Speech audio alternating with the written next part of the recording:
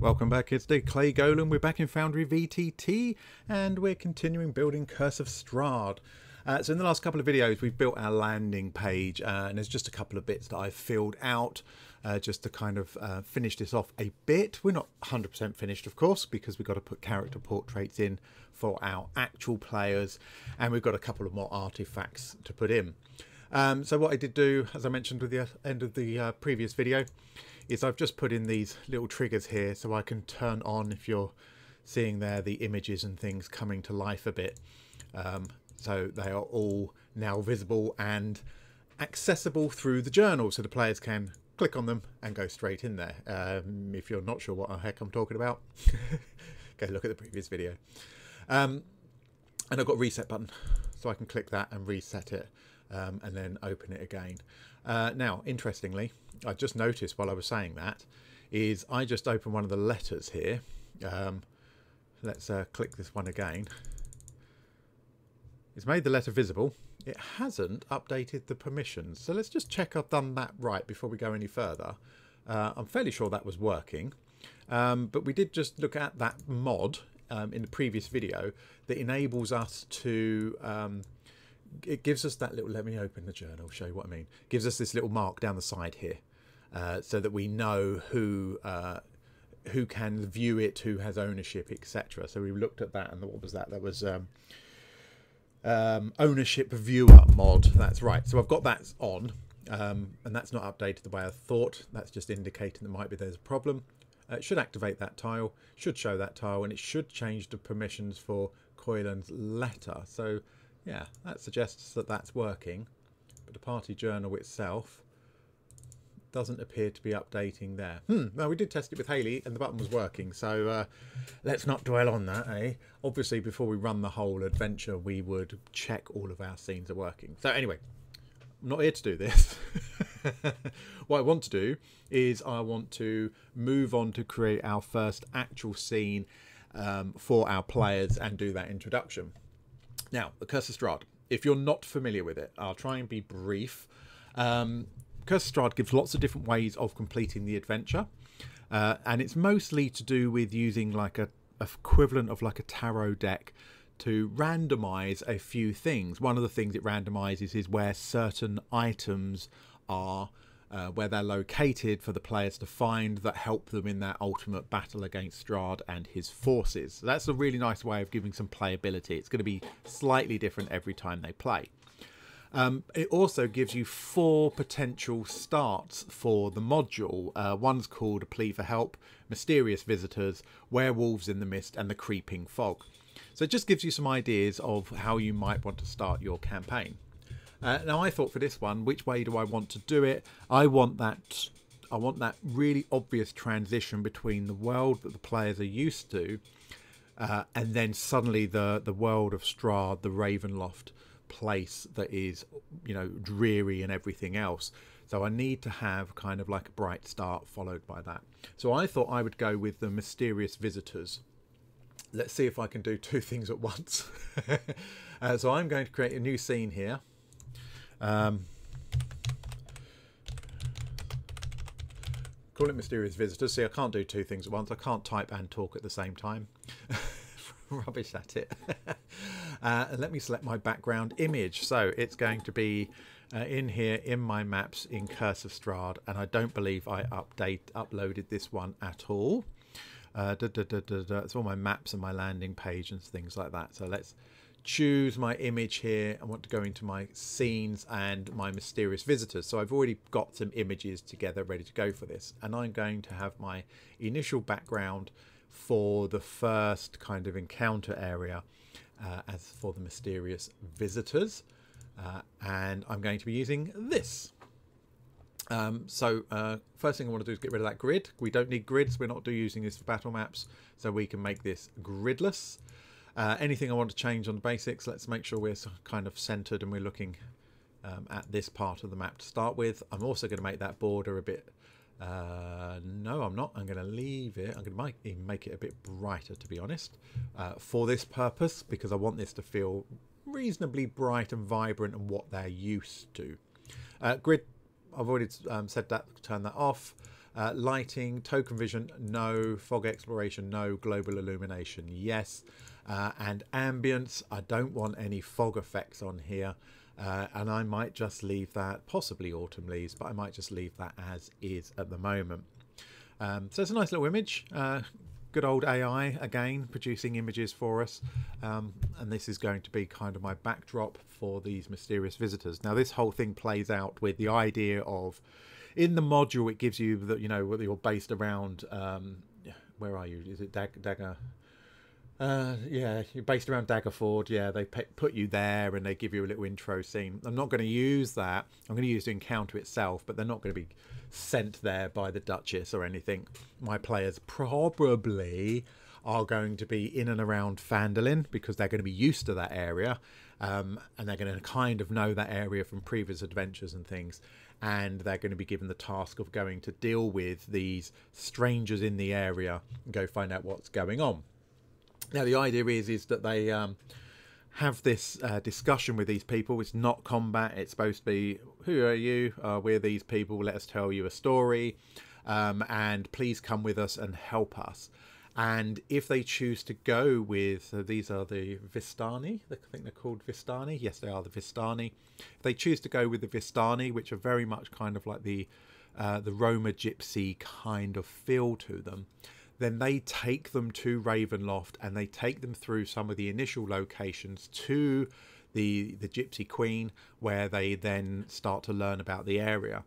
Now I'm going to modify that for my guys is they are going to be basically given go and see the Gypsy Queen, but they are not going to be escorted by the Gypsies because I want their first major encounter to be the Death House. So I want them to have to make their own way, not being escorted. So suddenly they feel alone and trapped in this other world rather than, oh, hang on a minute, we're with the locals, we might be okay. So that's the way I want to handle it. Just going to put my own little twist on it. And of course, any adventure, we absolutely should be able to put our own little twist on it. Of course.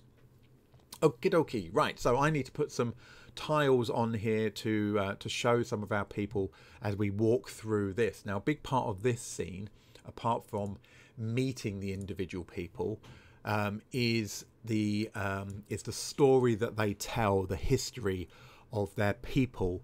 And while they never reveal quite what it is, it's their history with Strahd and their relationship with Strahd. Um, and it talks about a campfire that has stories in it. So I've got some other images here that I'm just going to bring in some of these tiles. Um, that's a bit larger than necessary, isn't it? Let's bring that down to something a bit more sensible. So I wanted to kind of talk about the uh, the gypsy children um, that they have, um, and uh, what else have I got in here? The uh, uh one of the gypsy women that I wanted to just have as an extra image, just with you know I want to get them the feel of these of these uh, Vistani people um, and what they're like. Uh, and the main person they, they talk to here is uh, is this chap uh, who is uh, uh, Stanimir. Stanimir. Okay, so we've got this chap too. So um, I might have these people. I might have Stanimir up here and as he's telling his story have these two others when he talks about his family thing family and things these two other tiles fade in and fade out as he's talking about them. But I'm leaving the bottom bit a bit clearer because as he's telling the story about the history uh, they talk about um, this figure that if you know you know um, about him on horseback um, and getting taken down by a spear. Uh, and the idea is is there's figures form in the fire uh, in the campfire. So we're going to have a look how we do that and how we do those transitions. Um, but we've got this image here that we can use for that sort of like initial talking about the horseman. Um, I'm not going to bring the others in. Oh, I can. I might as well bring them in, I suppose. Um, and there's the one about uh, him fighting off the shadows, which is I've got this image for. So again, it's in a very similar flavour, sort of like that black and white kind, white, black and white kind of imagery, um, and him slaying his foes, and again, that same kind of black and white imagery. uh, all generated by AI. Um, but I wanted to have like these story bits as silhouette because I think that kind of, you know, those images can kind of fade in and fade out as he's having that conversation with them. But I don't want to go much further than that um, with imagery and stuff I'm using in this one. So again, this is going to be similar to the landing pages. It's pretty much going to be driven by Monk's active tile triggers. Um, I don't really see that there's a better way to do it doing two dimensional. It works really, really nicely. Right, enough gabbling then. How am I going to do this? Um, so I've brought this one in as a tile. So uh, what I'm going to do, uh, same with the landing page, is I need to have uh, at least one or two triggers uh, to let me know what I'm going to do with it. So I can, we're not going to be clicking on here at all, um, but we can certainly hide this. But I might want to do things like make it slightly less, uh, you know, slightly uh, slightly less opaque, slightly more transparent, whichever way you want to put it. Uh, we don't want it as overhead, we don't need to animate it. And actually I don't need a tile trigger for this, so it's not active at all um, because this is going to be driven elsewhere. So if I just click off of that, just having that slight bit of transparency just makes it a bit, he can fade in and fade out again. So what I may have is a series of buttons here that when I click them, people fade in, fade out um, as we go through the story and we can just narrate along with it. So with these other ones here, um, we might be talking about his family. I'm going to have these fading in and fading out as well. And I quite like that idea of turning down perhaps to about 0.7. So these faces can kind of fade into view and then fade out of view again as he goes through it. And again, I don't need uh, tile triggers for those. Uh, same here, put it down to about 0.7. Um, and again fade in fade out. Um, and it might be I fade them out even even a bit more. Um, we'll have to see. And again you know we, we have to also test these using a player character to see what things are really going to be like. Now I've chucked these ones down here but um, I'm not going to quite do it like that. I need to start with the horseman. Um, and I did contemplate getting rid of the background completely and just keeping the black image of the person on horseback. And then in this one again getting rid of all of the background and just keeping this image of him with a sword. And again just keeping this image of him with a sword doing the slaying. Um, I did like I like the backgrounds on these but I'm not sure for this. Drop in the comments. What do you think should we just literally use the silhouettes for this or should we use the image with the with the background as well? Um, let me know your opinion. I don't think there's a right or a wrong way. It's it, but uh, yeah I'd be interested to know what you think about it. All right so anyway gabbling on again. It's what I do. So I'm going to fade these out a fair bit because we want this to be kind of not ghostly, but um, their images in the smoke. So I want them to fade in, and still see the fire behind it. Um, do it like that. Uh, now under triggers, what I am going to do for this, because I want this to change the image, I'm going to use it in exactly the same place, is unlike what I've done here, is I actually want to go to images and I want to add these images specifically for this. So uh, let's put in, I need to do them in order um, to make sure that we've uh, now I've said that just hovering a second. Uh, so it starts off with just looking at the module make sure I get these in the right order. Um, we cover da, da, da, as they dance this way the dark shape appears in the bonfire. The dark shape in the fire takes on the form of a man being knocked from the horse with a spear piercing his side. So we're going to describe that. We just got the picture of the horse. Uh, deep in the bonfire you see the dark figure standing with sword drawn fighting off a horde of shapes. So it is going to be this image next. Um, this one fighting off a horde of shapes. So that's going to be our second image. And then it does finish with the dancing fire the figure in the dancing fire vanquishes their final foe now, they don't give an awful lot of description of what that foe is and things like that. So we want to leave as much of that to the imagination. And it's why I wanted to use like these silhouette figures. It doesn't give much away and it's just nice enough to kind of set the scene. Um, you can't tell anything about this individual, which is exactly how I want it. All right, so we're going to have that. Um, excuse me. Now I could, of course, set up action so when I click on this tile, it cycles through those and that would be a perfectly acceptable way to do it. My only problem is, is I don't want the players watching my mouse moving all over it. I'm going to have my mouse over here, so I'm going to use triggers off to one side that are doing that. So I'm going to update that tile, get rid of these two, because I just wanted to show you the pictures. Um, and now I need to just work through some of these buttons for us. So I'm going to cut and paste that. So that's going to be my button for the fire scene. Um, and uh, I'm going to copy paste this one. And, and, again there's a number of different ways we can do this. I don't need a button for each of them. I could like with this I could have these images fade in and fade out all on the same tile but I thought I would just spread these out a little bit in this instance. So just creating the individual triggers that I want for this and I can just click on them so let's start with the top one um, what I am going to do is not that. I'm going to hide these, just make sure the players don't accidentally see them. All right, so when I click on this trigger, it's very, very similar to what we've done before. Um, we're going to go to the triggers. Um, I do want this always active, only usable by the GM when they click on it. Um, excuse me, got a really croaky throat. I do apologise. Uh, and the actions we want to do is I want to uh, show hide this tile.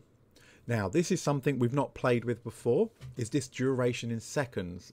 And it would have been sensible if I'd looked that up beforehand. So what does this mean? Does this mean it's going to show this for only this amount of time? I suspect that's what it is. Let's put in three seconds and see what this does and see if that does what I think it does. Let's make this sure this tile is hidden. Okay, so we're going to click on our tile over here and it should reveal this. Oh, it's a bit hard to see, wasn't it? one of the reasons it's a bit hard to see is because I put the opacity down. Um, so it's so it doesn't look too much different between uh, being um, activated or not. Opacity up, thank you. That's better. Okay, let's try that again. Uh, so I gave it a three second count, so click now. So that looked like actually what that did was take three seconds to fade in. So it faded in over a three second period to its maximum um, um, uh, opacity. Braining is hard, all right?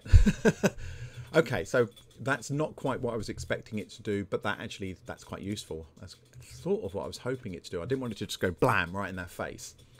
So that's nice. We can do that. So clicking on this, um, it's not an activated tile. Uh, yeah, I'm clicking on the wrong one, you absolute donkey. Uh, over here. So actually we can have that so he fades in, which is good. Now, uh, toggle might be what I want. So when I click on it, it will fade him in or fade him out, whichever it might be. So that might be how I want to do that. So just to be annoying and waste your time, I'm going to be an incompetent baboon. No, that's not. Let's hide it. So let's try that and see if that's how we want, because I want it to. So I'm going to click it He's going to fade in as we're talking about him. He's telling his story and all of the bits that he needs to. And when we finished with him, probably at the end of this story, um, and they start to settle down to sleep, I can click it again and he slowly fades from view. And then if I click it again, he comes back, and then I click it again, and he goes away again. I like that, and that's the effect I would like to have. I don't want suddenly this really sharp image in there. So with that in mind, I can uh, thank you. Back to basics. I can go back to that opacity and put it down to about 0.7. It's stuck this time. Good. So this one was already on opacity about 07. Yep, happy with that. So I'm going to repeat that process basically and say when I click this button, so the basics are, um, I don't need opacity on the button itself, that's fine. Uh, triggers, uh, yes, this is active. Only the GM can do it, and it's when they click on it. We don't need to worry about that. Yes, allow when paused, and the actions are going to be the show hide, do, do, do, show hide, this tile, toggle, and again five seconds. So it should give us a nice gentle in it comes and then out it goes again as he moves on from his topics. Good. Right. Next one for these uh, young ladies down here. Uh, so again, we'll put that up for the this. Uh, back to our triggers. It is active. Don't need sight. Allow when paused. Yes, the GM. The allow when paused, when we're doing it as GM, that's irrelevant, but just habitually I click it. Uh, and again, one click, GM only, and the actions are going to be same again. Um, and I got a feeling quite a lot of our scenes are going to end up being like this through the whole adventure. So if we do find we're getting into a bit of a rut of like the same thing every single time, I will do plenty of it off off camera rather than you kind of go not another video of watching you set up the tiles in exactly the same way because that will get dull for you, won't it? And then you'll all leave me and then I'll be sad. Okay, so what's wrong with me? Uh, we can click on this tile, it fades in and out. We can click on these young ladies and they should fade in and out as well. We can click on this older lady and again she's fading in and then we click and she'll fade out again and we can fade out these young ladies. So they those all work quite nicely and that's kind of how I wanted it. Um, and again, of course, I can reduce that opacity even more if I wanted to. Um, maybe down even to 0.5. Um, I might stick in a tragic story of losing um, losing some of their party or something like that. Um, in which case I can have these piece, people faded even more in and out. Right, now the slightly more interesting one, of course, is the figures in the fire, which is a nice way of putting it, but uh, obviously I just made that up.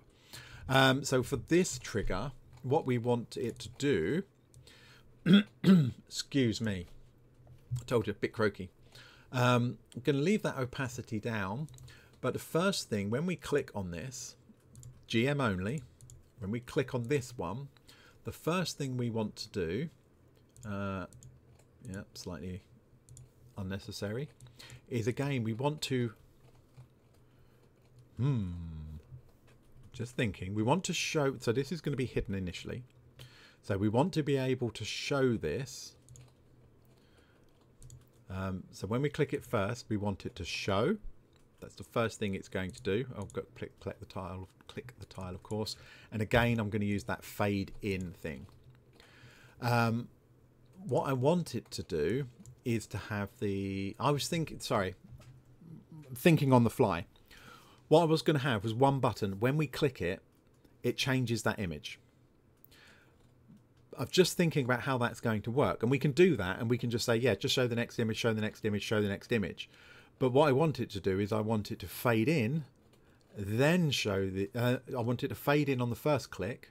On the second click, fade that image out, fade the next image in. And then on the third click, fade that image out, fade the next one in. And I'm not sure that we can do that. I mean, I'm, we can do it. Absolutely, that can be done. But I'm not sure that that is necessarily the right, way to do it. I think what we might do instead is I'm going to bring those other tiles back that I got rid of. Right, get, get, go away. Go away for a moment. I think I will have them as separate tiles just overlapping each other. Um, and that way I can make sure that I'm using the right size, not, not that big. Okay, so let's bring him down. Um, want to try and make the character about the similar kind of size. Uh, and again, uh, and so it's this one as well. Bring you right down and make again the character about the same kind of size. So it's a continuation of the same person in there.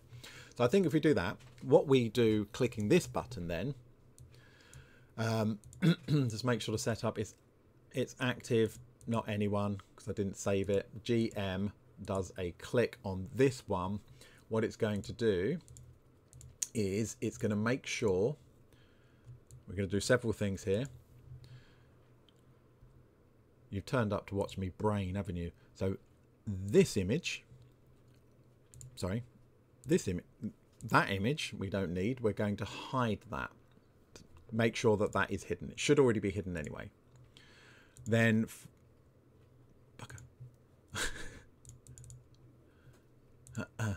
not activate, deactivate, show hide. The this image and make sure that one's hidden as well. Okay, so it's going to make we're going to make sure it hides the other two. Then what we're going to do is I don't need these images here now, but there we go. Let's leave them there. Then what I want it to do is to again show hide the image I want to show, show it, and fade that in for five seconds. Okay. So that's what I want it to do. Um, I'm going to, on these hide ones, I'm also going to add that five second fade on. It shouldn't be noticeable because in theory they won't be active. So clicking on this, it should fade those other ones out and then fade in the one we want over the, over the top. So if you're looking at the shadows here, now again, it's going to look different in the player view. Um, but when we when we're clicking on these things, it's kind of just changing and bringing them to the forefront, etc. The player view will be much crisper than this, and we'll have to log in as the player to check that that is indeed correct. So I need to let's crack on, shall we? Um, I need to take this one and go right with this. That's going to be the third picture in the story. So I need my second picture in the story as well. That's my second one. So when we click on this one here, uh, again, I'm going to fade this out to about, did I do the other one as 50%? Um, basic, yeah, yeah, 50% through. So yeah, we'll have that as 50% as well. I want them to be kind of the same. Uh, this is going to be an active button that only the GM can action when they click and the actions for this one is going to be pretty much similar to what the other one was. It's going to be the three show hides. So we're going to show, so that first image, we're going to hide this one, take five seconds. Okay, the next tile, uh, this one is the one we want. So we're going to show, we're going to show this one five seconds. And then that last tile, which is that one in the middle there. Apologies if you can hear crashing around behind me. Pets.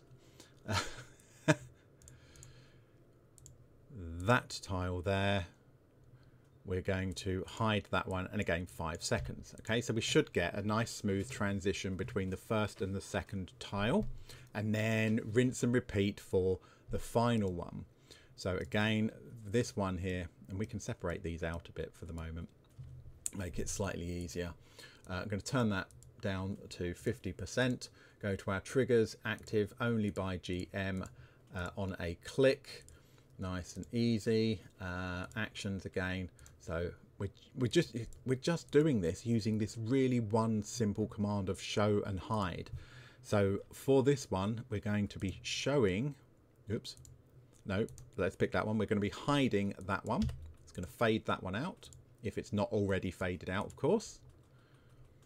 And we're going to show hide that one, which should already be faded out, but let's put it in there to make sure we don't get any silliness little errors and things like that. Um, you may have noticed I'm a little bit like that. It's like just double check. It, it should be hidden already. Let's just make sure it is uh, and fade that one in. So now we've got those different tiles. When I click on this top one, um, we should see some changes. Uh, where is it? We should see this middle one uh, pop out a bit and make sure the other two are faded and then we should be able to swap them between the different pictures. But like I say, because we've got these as quite um, faint images anyway, that's possibly not going to look, possibly not going to be able to see it particularly well on here. Let's stack them up again. So I'm quite happy with where the horseman is. Um, we're going to stick uh, you in here. So this is what I mean about possibly getting rid of this background. Um, and then we're going to stick you on top. All right. So uh, what I haven't got is a button that just clears them all, but that's fine. I can manually do this. All right, I'm going to be back in about a few seconds um, while I just log in as, uh, well, it'll be Haley, won't it? It's always going to be Haley. Uh, just going to log in as Haley and then uh, we can do that. In fact, actually, look, I'm already doing, I'm halfway through it. Just give me a second here. Uh, da, da, da, Haley is in and she's in an active scene. Right. So I need to swap these windows over so that you can see what's happening here.